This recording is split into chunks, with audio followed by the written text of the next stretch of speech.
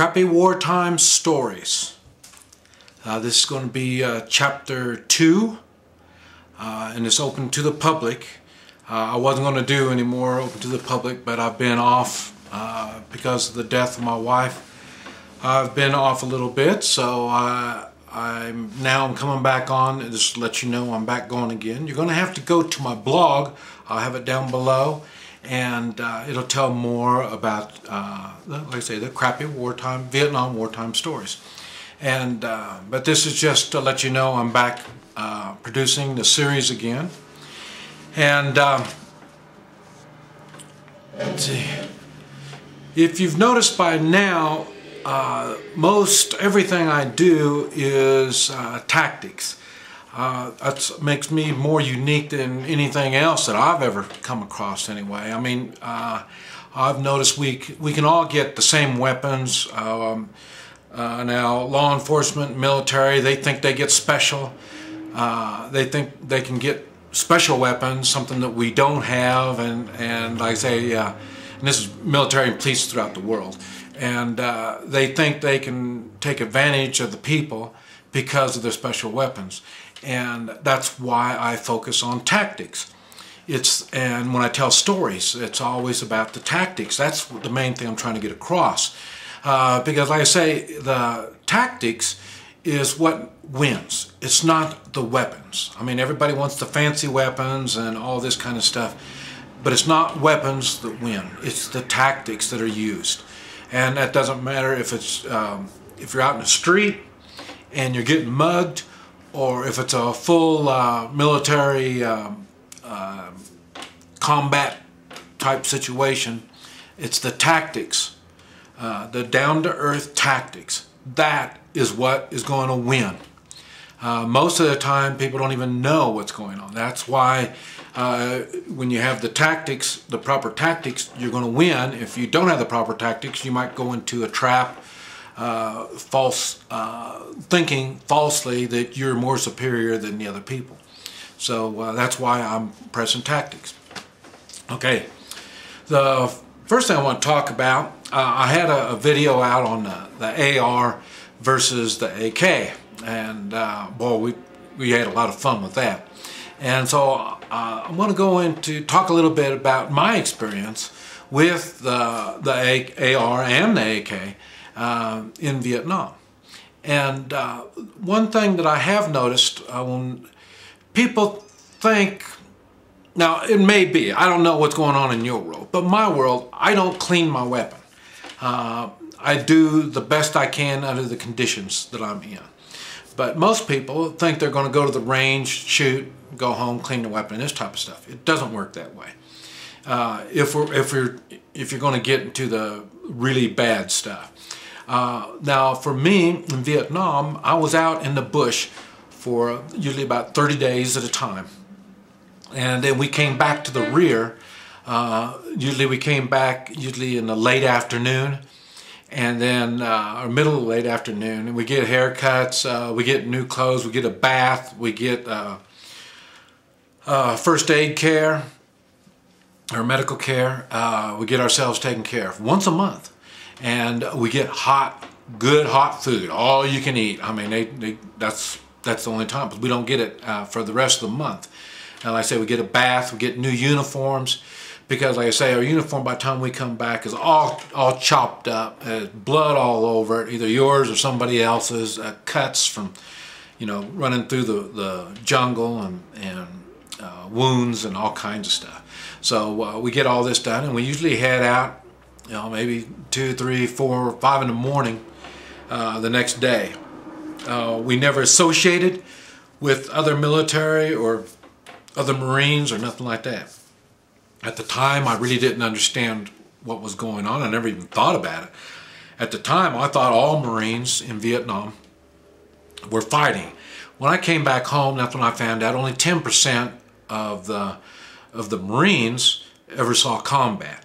And out of that 10% that saw combat, I guess I was one of the special 10% of the 10% that we saw quite a bit of combat.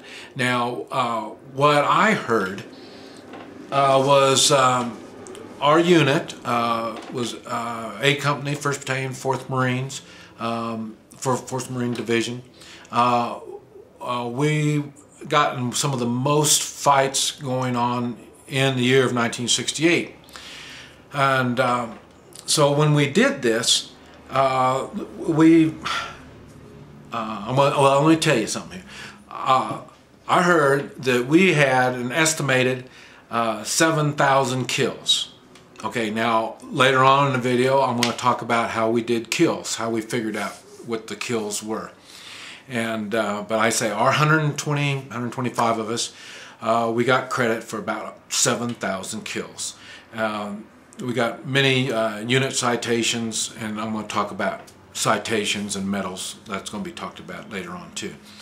But uh, what I'm trying to get across is, is uh, and I was there for 13 months. Uh, I got there before Christmas of 67 and I left either late January or early February of uh, uh, 1968.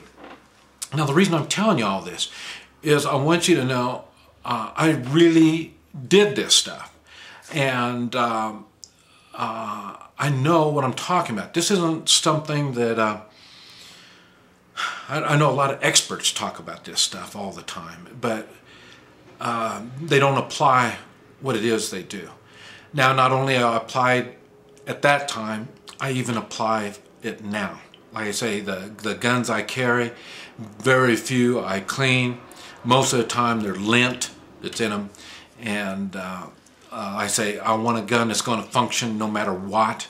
Uh, because I say, if lint's going to stop it, you know, it's not going to work for me because I'll use my gun to break out a window, uh, to break things, you know, maybe wood or what like that. If I have to get out a door, I'll use my gun to, as a hammer and, and break a hole in the door so I can get through.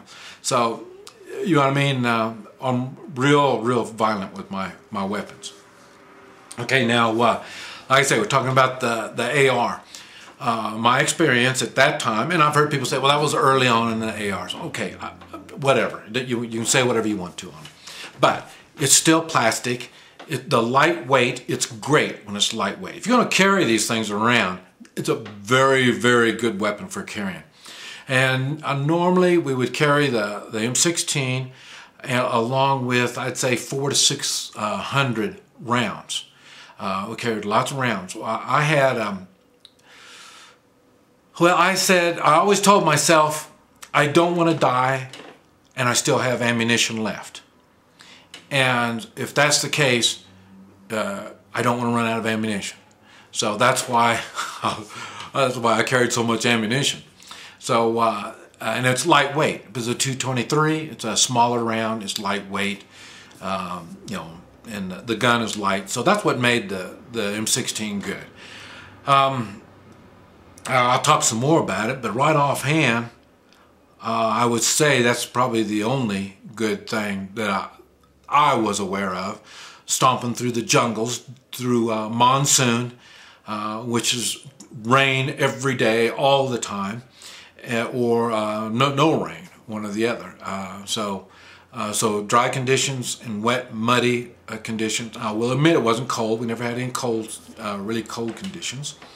But but I say the, the lightweight was good. Okay, now other than that, you can't use the M16 to knock a hole in the door so you can get through. I wouldn't even break a window with it. Uh, if that was my only primary weapon, I'd be scared to break a, wep- a window with it. But I wouldn't have 100% uh, um, uh, what do you say, confidence in the, the AR after even breaking out a window. So a, wooden door, forget it, you know, no way I would even consider that as a weapon or as a rifle after breaking a wooden door. Okay, so that's that's one reason, and uh, when it's when it's plastic and it's lightweight like that.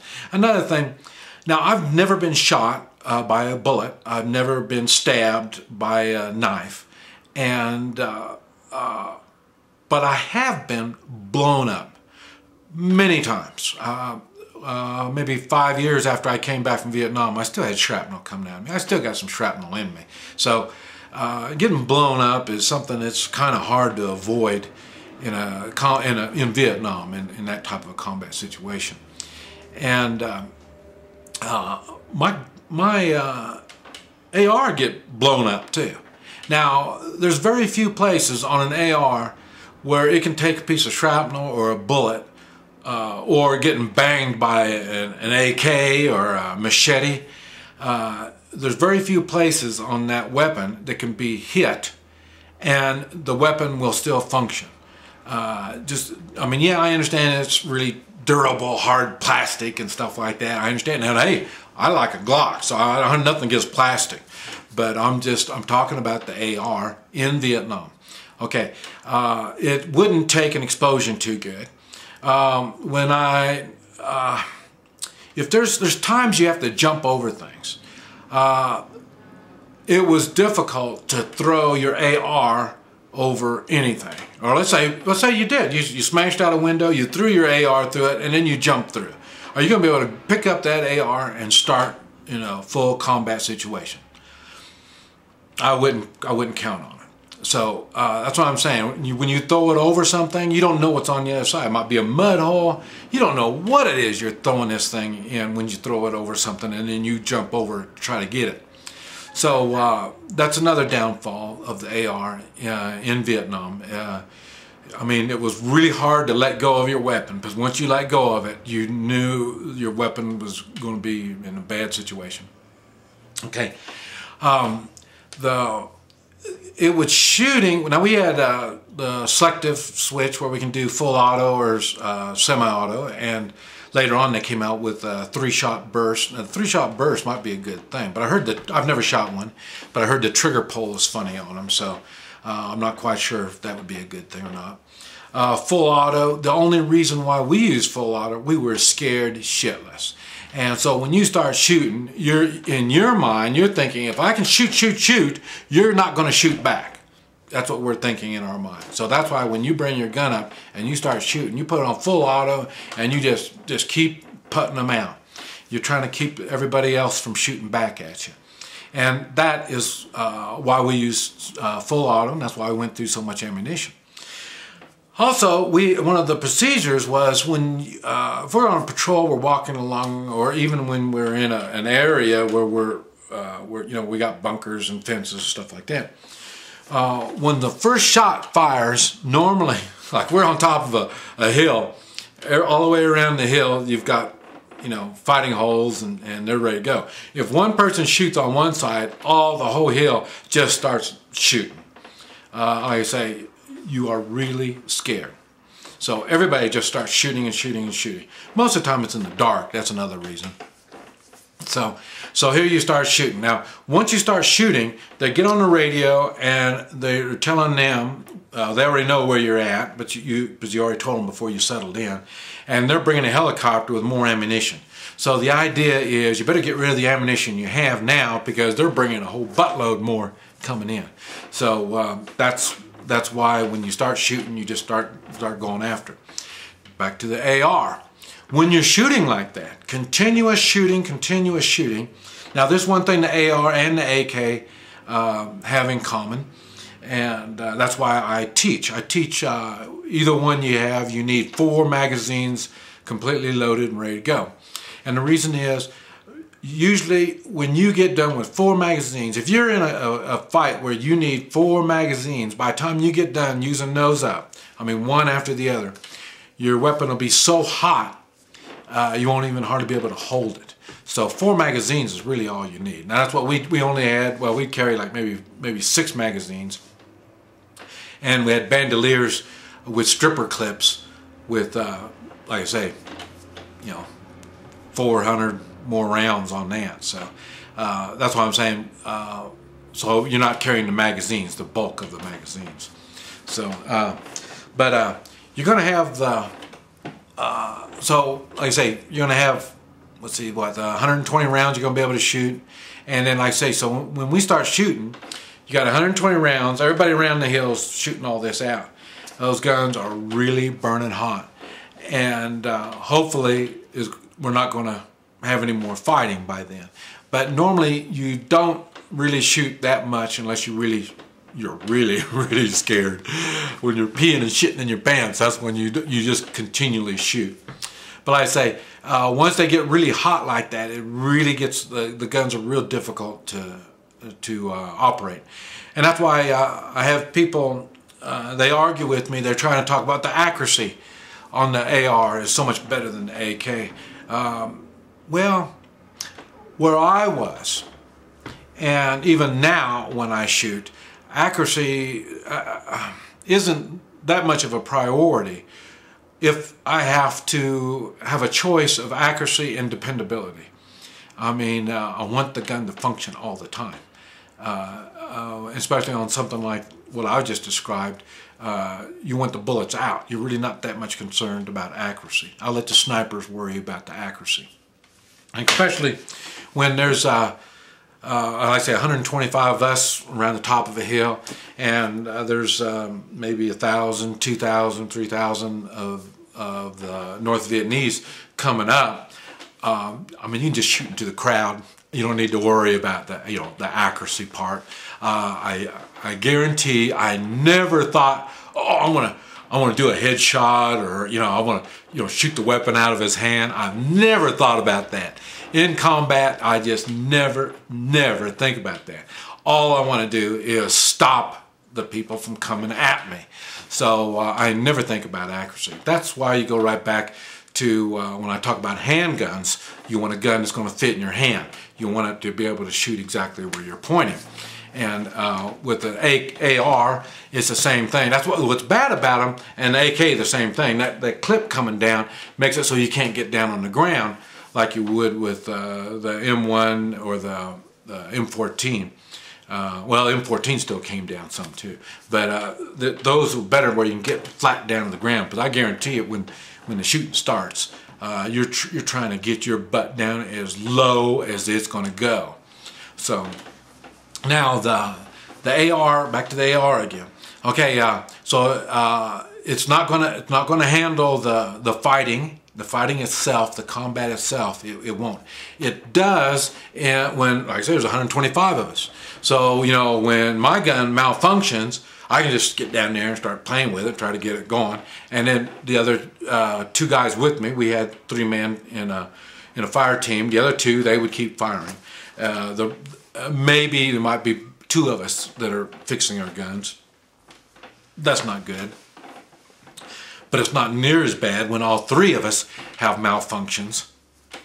And when all three of us have malfunctions, that's when we're out with the shovels and the, the uh, machetes and the K-bars. And no, the movies look good when you pull out the 45 and start shooting like that. That looks pretty good too.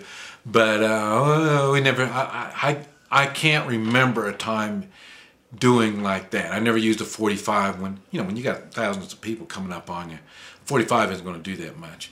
Uh, so I don't remember doing that. Uh, I never even remember seeing anybody doing that. Uh, now, um, if that's your only weapon, you will. But uh, like the Marines always say, the, the handgun is only to get you to your rifle. And uh, so, but the AR, uh, like I say, is, is not going to, and then when you start getting hand to hand, when they start getting up close, and then they start swinging those uh, AKs and, and, machetes and stuff like that, you know, you're, you're putting your, your AR up, you know, you, you just, all you got is a, is a stick, you know, but now by the time you get done with that, you're not going to block all this stuff and turn around and shoot. It's not going to happen. I guarantee they messed up your gun. It's going to be needing some maintenance. Uh, so, uh, and you're going to be doing it in the dark. You're going to be doing this maintenance in the dark. So, um, the AR, uh, and I'm sure even if even if you even if they made these ARs uh, improved on them, just one one step after another. Even if they did, uh, still, um, would you give me your AR and let me not only drop it on the ground, but throw it on the ground. You wouldn't even let me do that. Okay? But in combat, you would do that. You're going to be throwing it on concrete. You're going to throw it on whatever. So, and you won't even let me do that. That's why I think it's funny. Uh, when I was training the SWAT team, or well, before I was training the SWAT teams, um, they the policemen would show me their nice fancy guns, you know, uh, Kimbers and you know all this kind of real fancy stuff. You know, here I am with my dorky Glock, you know, and uh, I'll, I'll take my Glock and I'll I'll throw that sucker clear across the parking lot. And uh, it, I don't do it all my Glocks. I got one Glock that I do it with, and I throw it all over, throw it over there, and then bang, you know. And then I said, you know, I can go over there, pick up that weapon, and I'm ready for a gunfight and then I'll stick my hand out and say, here, let me see your gun. And boy, they, you see them, they pull back. Boy, they want me to touch their weapon. because like I say, there's no way they can do it. And even in a handgun, you know, like I say, I'd be banging out car windows and still have to use the gun. Can you do it with your fancy Kimber? I don't know. But I wouldn't put my life on it. And uh, that's, we're right back to the same thing with the AR. This, what I'm talking about, is full combat out in the middle of the jungle and all this kind of stuff. And you're going to say, oh, well, I'm never going to be like that. Well, you may be absolutely right. One reason why I can say that is you don't even have the balls to come down here and spend some time with me in Guatemala. And if you did, you would be spending some time in the jungle with no, no means of maintenance for your weapon. But you stay in your own little sheltered world, you might be able to use your AR. And just like I was telling someone else, okay, I do the three-man militias and a meet and greet team. And if I was on this meet and greet team and I'm out, out in front, ready to do what I have to do, talk business with my, my these uh, possible threats. I don't want you standing behind me as the other with the other two, the two that are going to be with me. I don't want you being back there behind me with an AR. It's not going to work. You better have an AK if you're going to be with me. And like I say, that's if we're if you think we're going to be staying in your little area, good. But once you leave your little area, you sure better have that AK. It'll be easier to clean. That's why we used the enemies uh, North Vietnamese AKs, uh, whenever we had a chance, we would use them. We'd keep our ARs, but we would use their weapons first, and their ammunition and their weapons. So, um, uh, so when you hear me uh, getting down on ARs, uh, there's a just reason for it, and um, uh, I'm alive, and I don't give all that credit to the AR. I give it some of the credit, yes, but not all the credit. And uh, as I say, at the same time, it's put me in jeopardy. Uh, the good thing is I have good tactics. Uh, and my tactics aren't surrounded by the weapon only. And that's why most people get screwed up is their, their tactics are formed around that weapon. And when that weapon malfunctions, they're, they're screwed. Okay, I don't. I've got I've got many tactics that I can fall back on. And whatever weapon I have at the time is uh, the tactics that I work with it. So anyway, uh, that was the AR. Uh, if you have any questions, uh, let me know. Uh, like I I've even had the newer ARs, and uh, they didn't work either. One good example, the sear, the, the sear that catches the hammer, the pin that holds it, it broke. And I used to have all my rifles loaded. And what I did is I cleaned up my uh, AR, I stuck the magazine in, and then I you know, pulled the, the slide back. And when I let go, it kicked into full auto. I was lucky I only had the 20 round magazine in there, and it went like that, right over my roof. Punched all kinds of holes in my roof, my house. So, but, uh, uh, so that was the, the newer ones. So that's why when I tell people when they get the newer ones or any AR, uh, you make sure you get good quality all the way around. Don't don't get any of the, the off the wall brand stuff like that because you're going to get uh, cheap pins just like what I had on that one and there's going to be a malfunction and you don't I don't if you're coming up against me I would rather you have an AR if I'm going up against uh, if I'm the one going towards you, it won't be with an AR. I have one. I still play with it. I have fun. I modify it. I play with it, do like the movies do. But uh, like I say, uh, true combat weapon. Uh, but then again, I'm by myself. Now, if you're part of a unit, really good. I know the military uses them, and uh, uh, I'm sure they're plenty happy. But you see how they have them strapped. None of them are planning to let go of their weapon either. So, uh, and like I say, they're well organized, they're well together, they're staying together, uh, they've got support. That's what makes the AR work. When you're on your own, you don't want the AR. And just like all your weapons, each primary weapon you have, you should have a case of ammunition, sealed case, and then have other ammunition that you play with. But you have a sealed case of ammo for uh, any one of your primary weapons. Okay, thank you. This is Mike, NoStressMike.com.